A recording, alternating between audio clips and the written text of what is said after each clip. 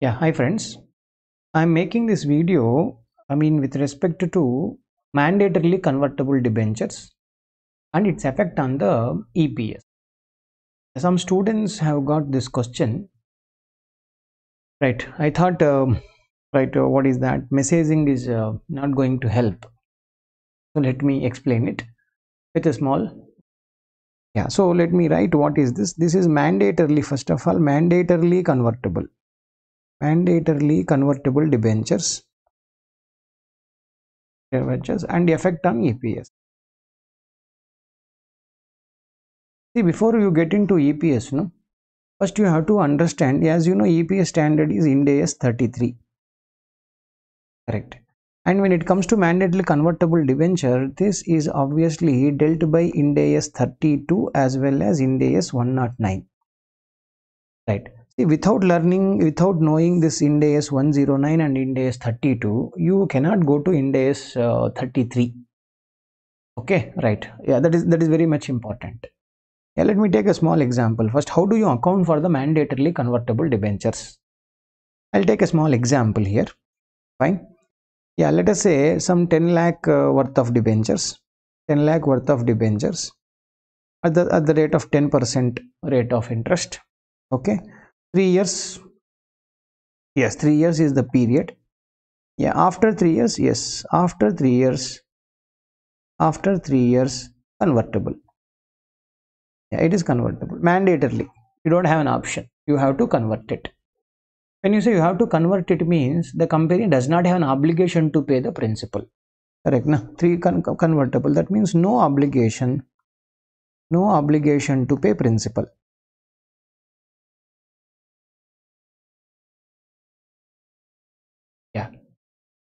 fine. So there is no obligation for us to pay principal amount. Correct. Sir how many are you going to convert? Uh, let us say uh, 10000 equity shares or 10000 equity shares are going to be converted. We are going to issue. We are going to issue 10000 equity shares at the end of the third year. This is the basic question. Okay fine. This is 10000 rupees directly. I mean 10 lakh rupees. Fine. The first thing what are you supposed to do this is an instrument financial instrument correct no? this is financial instrument. What are we supposed to do? This financial instrument you are supposed to classify there is some equity element as well as there is a liability element. You have to bifurcate it. This is nothing but compound financial instrument. Why do you say compound financial instrument sir? Because it has an element of liability. What is the liability? I have to pay interest for 3 years mandatorily. Correct. That is my requirement. I mean that is an obligation. At the same time i don't have an obligation to pay the principal. That is nothing but equity. Okay so let us bifurcate the amount received. Fine. What is the liability? Yeah what is the liability? Present value of liability. Present value of liability is equal to how much are you going to pay? Yeah present value of liability is equal to nothing but interest. Correct present value of interest that is what you are supposed to calculate. Yeah year 1 year 2 year 3 how much interest amount am i going to pay? 10% on 10 lakh means 1 lakh 1 lakh 1 lakh i'll pay. Yeah at the rate of what? Hmm, at the rate of uh, assume uh, this is at 10% um, let us say market rate of interest is equal to 12% yeah, this is market rate of interest. Okay yeah market rate of interest is equal to 12% for such general this is uh, without such conversion option market rate of debentures such debentures without the conversion option without conversion general plain debentures market rate is 12% uh, so let us discount it at the rate of 12% yeah if you discount it at the rate of 12% let me calculate. 1 divided by 1.12 okay. Yeah this comes to how much? 0.893 0.797 this is 0.712 okay done. Uh, so 1 lakh into otherwise i'll just total it 893.797 plus 0.71 yeah that comes to 2.402 that comes to into 1 lakh. Correct. Into 1 lakh means 2 lakh 40,200 rupees is what the liability portion what is this? This is the liability portion. That's it. This is the obligation we have got. You have to pay. Right? So what is the amount received actually? On issue of the debentures. What is the amount received? We received an amount of 10 lakh rupees. Correct. Out of this liability portion yeah how much are we supposed to repay them? We have to repay 2 lakh 40200 rupees. Okay 2 lakh 40200 rupees if i repay that means 7 lakh 59800 rupees is what the equity element. Got it? Right. So day one. Yeah why zero. When you have got when you issued at the time when issued the debentures. When you issued the debentures. What is the journal entry you should record? We have got cash. Okay cash account debit. How much is the cash amount we received? 10 lakh rupees. Yeah to liability yes i have an obligation to pay only to the extent of 2 lakh 40200 rupees. Okay to equity. Yeah other equity basically. Yeah other equity will say we'll put it under whatever it is equity portion. That is 7 lakh 59800 rupees. This is the first journal entry you have to pass. Okay we regarded this journal entry. Perfect sir. Now what are we supposed to do? Let me just observe. Yeah say this is horizontal balance sheet. Yeah other equity okay right. Other equity has a 7 lakh 59800 rupees and there is a liability called 2 lakh 40200 rupees. Okay right. Now listen at the end of the first year what will happen sir? At the end of the first year are you supposed to pay interest or not? Yeah you will pay interest. But see we don't go by the nomenclature of interest. We'll always do like this. What is our opening liability? What is our opening liability yeah what is my liability this is my liability 2 lakh 40200 is what my liability correct Ah, so now what is interest? Interest is always calculated on the opening liability. Correct, na? So what do I say? Now interest expense. Yeah, interest expense, how much you record? 2 lakh 40,200 at the rate of 12%. At what rate you discounted? Na? At the same rate you are supposed to unwind it. So 2 lakh 40,200 into 12% you should do it. Yeah, 12% you do how much? 28,824 came. Okay. Sir interest expense to 28824 has come. Haha correct. Now what I am but actually sir i am paying a cash. I am paying a cash of how much my dear? I am actually paying 1 lakh rupees i am paying cash. Correct. What should i do this balance this interest you know p and l it will be transferred this should be hitting the liability. You are repaying. This is nothing but we call it the principal repayment. What is this called? Principal repayment. So 28,824 minus 1 lakh. That comes to 71,176 rupees is the principal repayment. Yeah, so at the end of the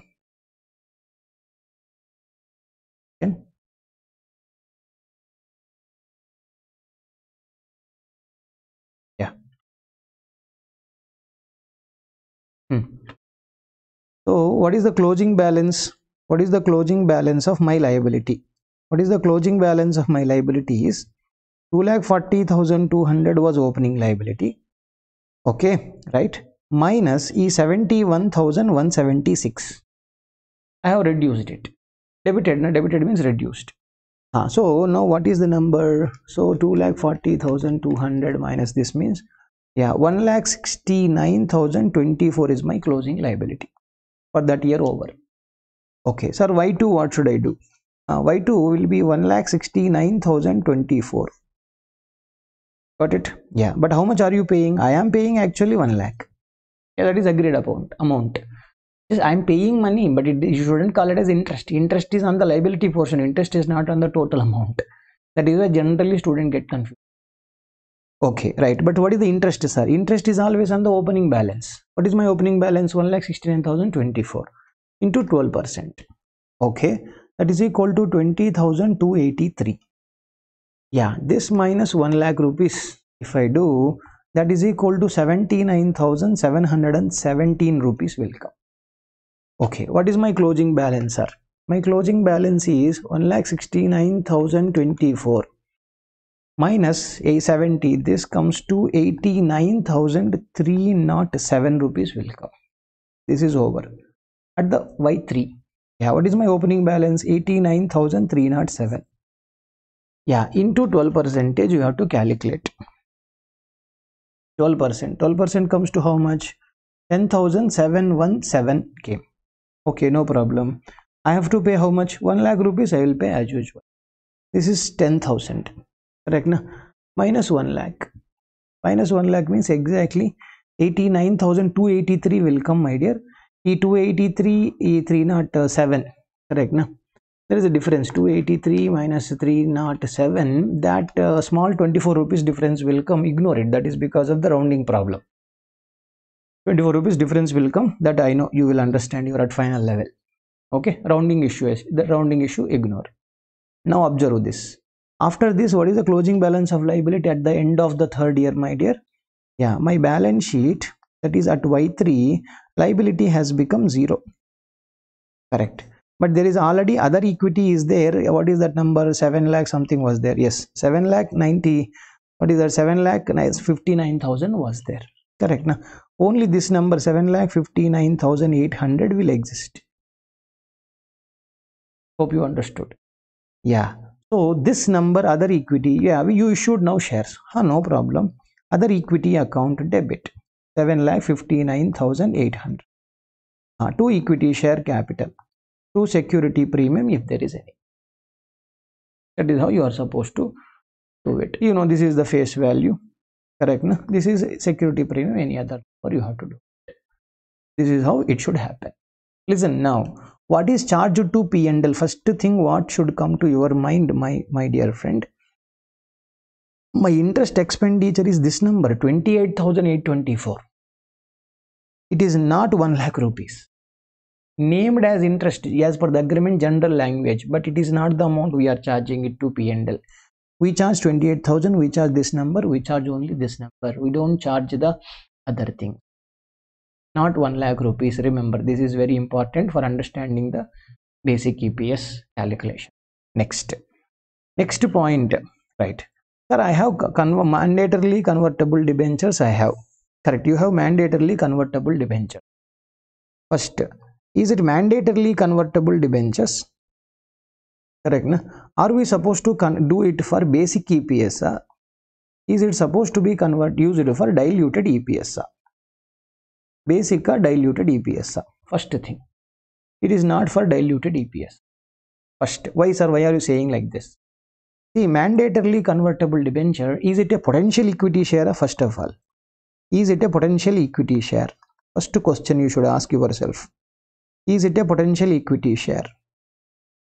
I say directly first before you say yes or no first you should tell me what is the definition as per ind AS 33 okay as per ind AS 33 it says you know ind AS 33 says potential equity share is a uh, what is that? It is a security.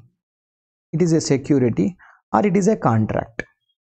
It is a security or contract okay which may entitle which may entitle what it which may entitle which may entitle an equity share an equity share to the holders to the holder. Listen carefully you, you should understand this. It is it is saying may entitle. It is not it will entitle. Okay it is not like which entitles. No it is not saying which entitles. May means possible correct na? It is possible. But my dear friend with respect to mandatorily convertible debenture there is it is certain it is not may.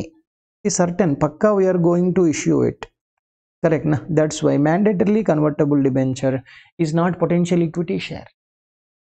If it is potential equity share then it will be used for diluted eps that means it is as good as this is what this is as good as equity share that's it. As good as equity share. Equity share. Why sir? Why sir means there is no contingency involved first of all. There is no contingency involved there is no contingency involved in this.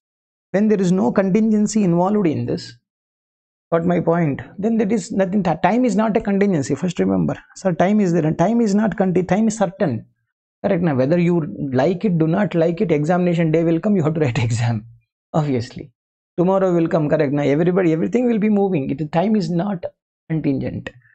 Correct now. Time depend doesn't depend on anybody. It will obviously move on right? Time is not contingent. Time is not a contingent event. That's why you should consider it for only basic eps purpose my dear not for the not for what? Diluted purpose. Ah sorry sir. When it is considered for basic eps na when it is considered for basic eps one more basic doubt students will get na. Right? How many shares it is going to be issued what is the x number of shares? Existing shares already there. Weighted average number of shares 10000 new shares are going to be this is going to be right when you issue it is going to be convertible correct na? Sir do i need to make any adjustment to the profit? No we don't need to make any adjustment to the numerator. Why sir? Are we charging 1 lakh rupees as interest are you charging only 28000 rupees? We are charging only on the liability portion but not on the 10 lakh rupees. Out of out of 10 lakh rupees 7 lakh 59000 some number was there yeah e 7 lakh we are not charging interest on 7 lakh 59000 we were charging only on the liability portion. Correct na? Right. e 7 lakh 59000 ke liye 10000 10000 shares have been issued. Not for this portion. Not for this portion. Right. For this this is charged. Interest is charged 28000 20000 10000 something has been charged to pnl let that be there. No adjustments are supposed to be taken care. No adjustments. Here no adjustment to the numerator only to the denominator simply existing shares plus 10000 that's it. Directly profit after tax. Um uh, any preference dividend whatever it is like you learned i taught you very clearly in Ind AS 33 same thing is supposed to be. Hope my dear guys i hope you have understood it. If this video has helped you please like the video and comment. Give us give your comment. And i will understand whether this video is making such videos will be useful to the students or not. Right? Thank you very much and wish you the best